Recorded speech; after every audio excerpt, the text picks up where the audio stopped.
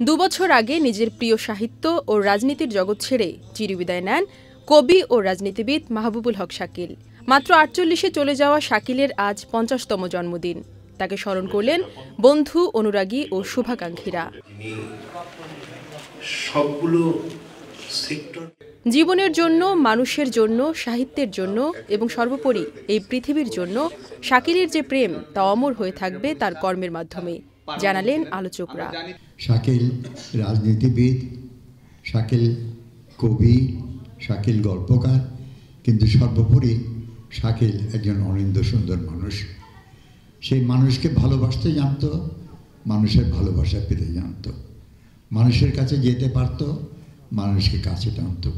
বঙ্গবন্ধু কন্যা মাননীয় প্রধানমন্ত্রী উনি, ওনার সাথে বহু লোক কাজ করতে আসবে, অনেক লোকজন আসবে, হয়তো অনেক ভালো মানুষ আসবে, অনেক মেধাবী মানুষ আসবে। অনেক অভিজাত মানুষ আসবে, কিন্তু শাকিল ভাইয়ের মতো বিশ্বস্ত এবং শাকিল ভাইয়ের মতো অনুগত মানুষ হয়তো একটু দূর হবে। এই অঙ্গনগুলিতে হয়তো সেরকম ঝড় তুলতে পারেনি। এই সাহিত্য অঙ্গনের বিশাল সমুদ্রে কোনো ঢেউ তুলতে পারেনি। কিন্তু একটি সামান্য আলোড়ন হয়তো তুলতে পেরেছিল।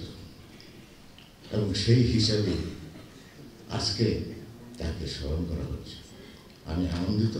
কবিতা রাজনীতি ও মানবিক সম্পর্ক উন্নয়নে আত্মপ্রত্যয়ী শাকিলের চেতনাকে তরুণদের মাঝে ছড়িয়ে দিতে চালু করা মাহবুবুল হক শাকিল পুরস্কার দু হাজার আঠারো পেয়েছেন কবি স্নিগ্ধা বাউল। আয়োজনে আরও ছিল মাহবুবুল হক শাকিলের কবিতা থেকে আবৃত্তি ও গান।